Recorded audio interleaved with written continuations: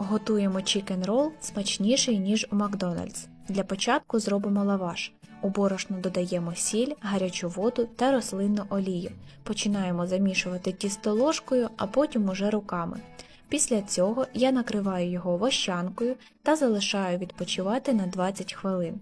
Далі потрібно розділити тісто на 10-12 рівних частинок і розкатати кожну максимально тонко, але при цьому враховуйте розмір вашої сковорідки. Смажимо лаваші на добре розігрітій сухій сковорідці по одній хвилині з кожного боку. Після приготування змащуємо водичкою і накриваємо рушником. Лаваш виходить дуже еластичним. Тепер підготуємо все для начинки.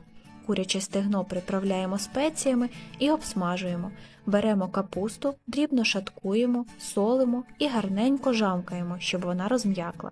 Для соусу нам потрібен майонез, сметана, чесник та зелень. До речі, найкраще вона зберігається у вощанці. В соус можна додати також гірчицю. Перемішуємо всі інгредієнти і наш соус готовий. Тепер складаємо сам рол, як показано на відео.